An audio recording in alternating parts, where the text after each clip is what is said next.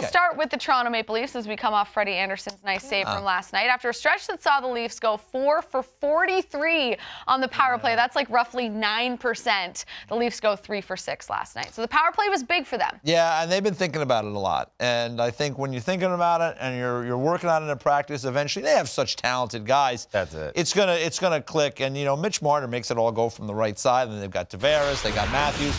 Take us through this, Whit. Well, this is just perfect execution, and you know you knew it would come with the skill they have. You see Marner does a quick look down, and Tavares. That's just so good. That's knowing exactly where Matthews is going to be, and it's a good job by Matthews too in timing it. Yes. Because it really depends on the player able to open himself up and make that lane open. Right there, Marner does a nice little, you know, self-control turn. He throws it up top, and this is another just one-touch pass. Tavares was setting everyone up. Kadri has a beautiful shot, but you see Marner right here. Nope, I don't like anything. Turn out quick tight turn. He gets it up top. Rielly with this quick fake, pump fake. And Matthews does a good job not forcing anything. He sees Tavares slide over, which is a good job by him. And then each, this is the second unit. Second unit, And you see, yep. you know, Nylander's kind of playing the role that Matthews plays on the other side, and Kapanen, who's had a great year.